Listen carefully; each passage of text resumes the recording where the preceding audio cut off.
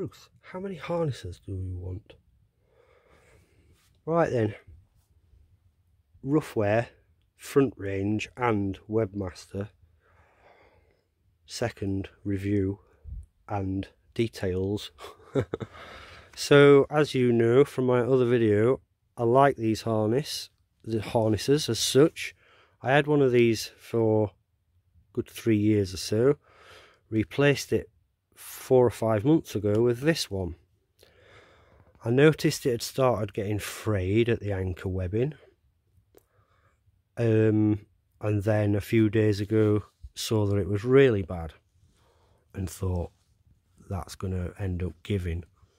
So I stopped using it, emailed Ruffwear and they were good and sent another one which I've just got.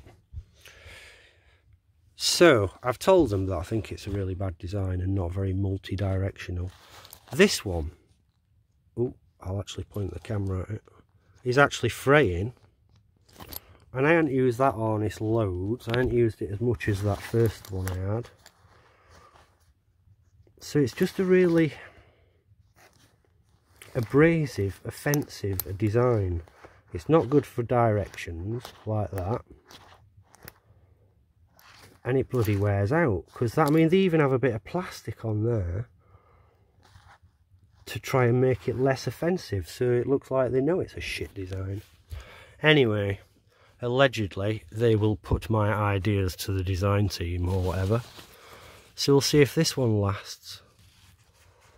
Um, I don't think I'll be purchasing another Ruffwear harness unless I notice that they've changed their design so yeah.